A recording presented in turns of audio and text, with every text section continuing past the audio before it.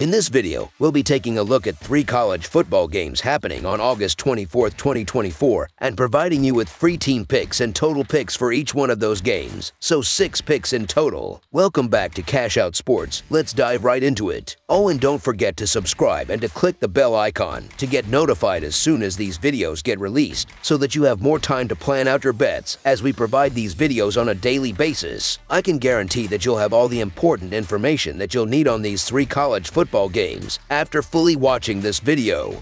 One more thing before we start. If you would like to gain access to our best exclusive sports picks to take your journey to the next level, then check out our Patreon in the link down below where we offer our best single picks, parlay picks, and much more. Now let's get started. Florida State versus Georgia Tech. The 2024 college football season is set to begin on Saturday, August 24th, with a lineup of four games. Among the most anticipated matchups is the showdown in Dublin, Ireland, where the 12th-ranked Florida State Seminoles will face off against the Georgia Tech Yellow Jackets in the Aer Lingus College Football Classic. Florida State enters this season after an impressive 13-0 run last year, securing the Atlantic Coast Conference title but controversially missing out on the college football playoffs. Their season ended on a sour note with a heavy defeat to Georgia in the Orange Bowl. On the other hand, Georgia Tech concluded last season with a 6-6 record, earning a spot in the Gasparilla Bowl, where they triumphed over UCF 30-17 to close out the year with a winning record. Heading into this game, Georgia Tech boasts a more seasoned offense, with key players such as King, Haynes, and Singleton Jr. returning to the lineup. In contrast, Florida State has undergone substantial changes, especially in their offensive backfield. Quarterback Uiagalelei, who showcased his abilities last season at Oregon State, is versatile, excelling both on the ground and in the pocket. However, the Seminoles will sorely miss the contributions of running back Benson, and they'll be counting on newcomer Williams to fill that void. This challenge is heightened by the fact that Georgia Tech's defense struggled mightily against the run last season, allowing nearly 6 yards per carry. Yet, Florida State may find it difficult to exploit this weakness with their revamped backfield. On the defensive side, Florida State appears stronger, particularly in defending against the pass. Last season, the Seminoles ranked 16th nationally in pass defense,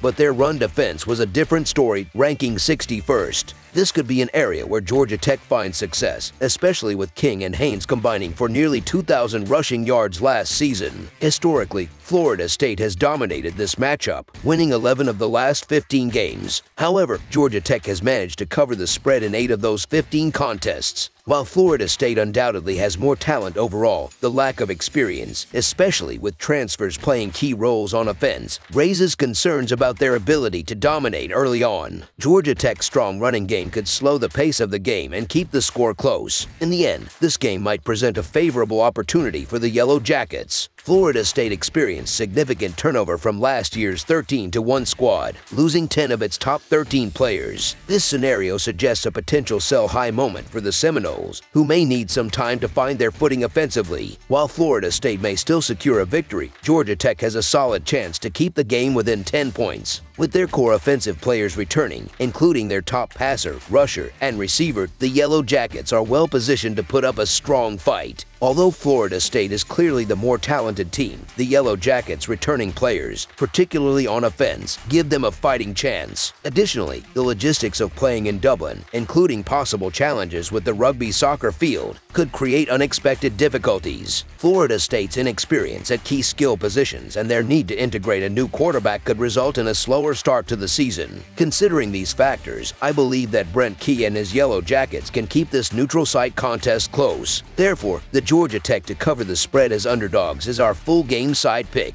I anticipate that it will take some time for Florida State's offense to fully gel this season.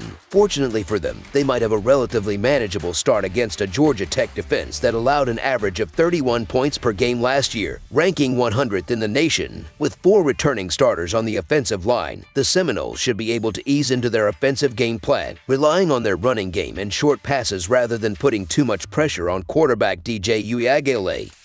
Who has limited chemistry with his receiving corps. On the flip side, Georgia Tech's offense is heavily reliant on its rushing attack. Last season, the Yellow Jackets ran the ball 492 times compared to 379 passing attempts, an uncommon split in modern college football. This run-first approach is expected to continue in 2024 with both QB Haynes King, who rushed for 737 yards last season, and RB Jamal Haynes, who amassed 1,059 rushing yards, returning to the lineup. Georgia Tech's best strategy in this game is to avoid a high-scoring shootout. The Yellow Jackets are better equipped to create big plays on the ground rather than through the air. Last season, the matchup between these two teams saw a high-scoring affair, largely due to Florida State's offensive explosion. However, with several key skill players having departed, the Seminoles' offense may take longer to find its rhythm this year. In the last 15 meetings between these Atlantic Coast Conference rivals, the under has hit seven times, with four pushes. I expect Georgia Tech Tech head coach Brent Key to lean heavily on the ground game, which ranked 13th nationally in rushing yards per game last season. This approach should shorten the game and keep the total points low. Therefore, under the projected total is our full game total pick. New Mexico versus Montana State. The Montana State Bobcats are set to face off against the New Mexico Lobos on Saturday in week one of college football at University Stadium. This matchup promises to be an intriguing contest as both teams aim to start their seasons on a positive note. Montana State, a formidable force in the football championship subdivision, will be looking to assert their dominance, while New Mexico and Football Bowl subdivision team is eager to prove they can compete despite being labeled as underdogs. Initially, I was inclined to take the points with New Mexico as it's unusual to see an FBS team considered such significant underdogs against a football championship subdivision opponent. However, upon closer inspection, it's evident that Montana State is one of the top football championship subdivision teams in the nation, while New Mexico has struggled and is considered one of the weaker football bowl subdivision programs. The Lobos are dealing with several challenges, including a completely revamped offensive line, a defense that was shaky last season, and an entirely new coaching staff. This combination suggests a steep learning curve for New Mexico as they navigate these changes on the fly. On the other hand, the Montana State Bobcats are well positioned to hit the ground running, with their sights set on competing for a football championship subdivision championship. While it may seem odd to see a two-touchdown spread in this matchup, I understand why it's there. Given the circumstances, I trust Montana State to take care of business in this one. Therefore, Montana State to win and cover the spread as favorites is our full game side pick.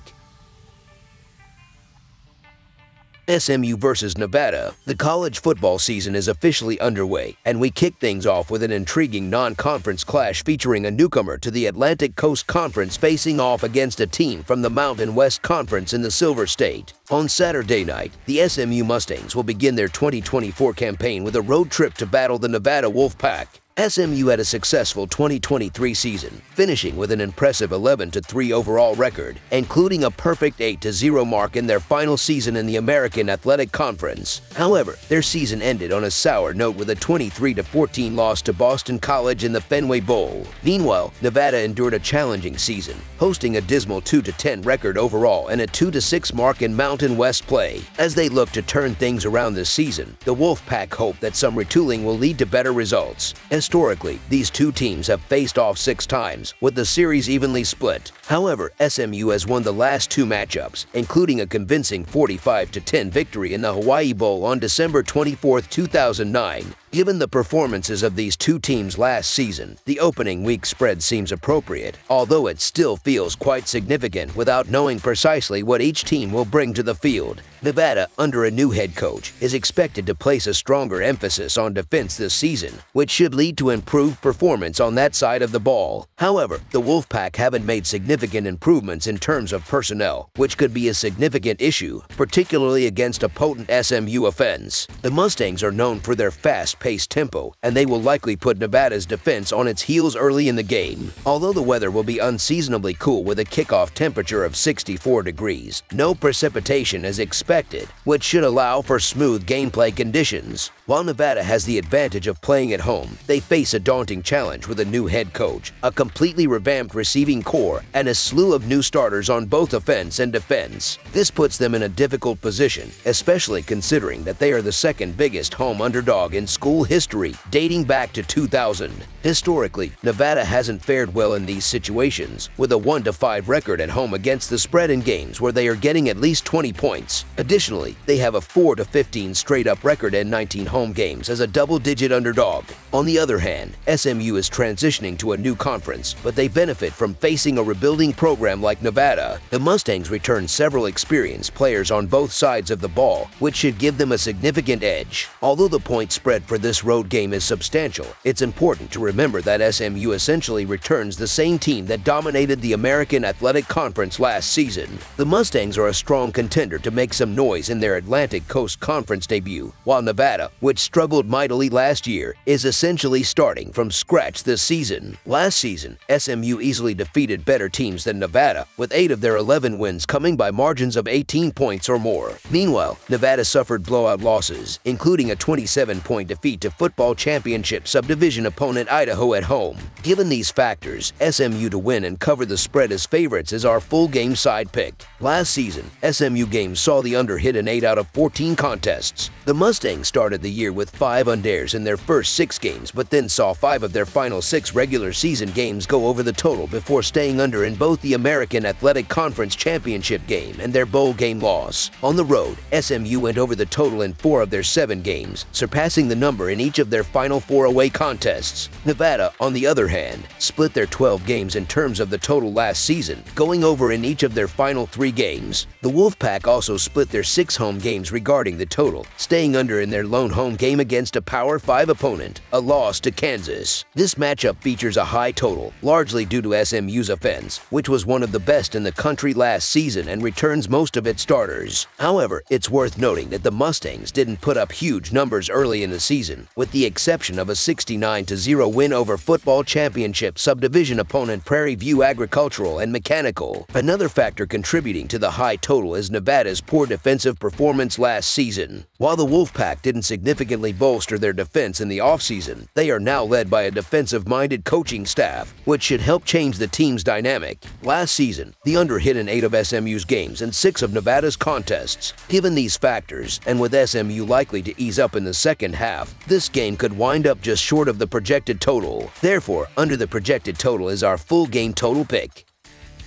That's all for now, so if you have any other games you would like reviewed, then leave a comment down below with the game you would like analyzed, subscribe to our channel, leave a like on this video, and we'll get to it as soon as we possibly can. We would also love to hear your opinion on the picks presented to you in this video, whether you agree or disagree with them, so leave a comment down below and do let us know.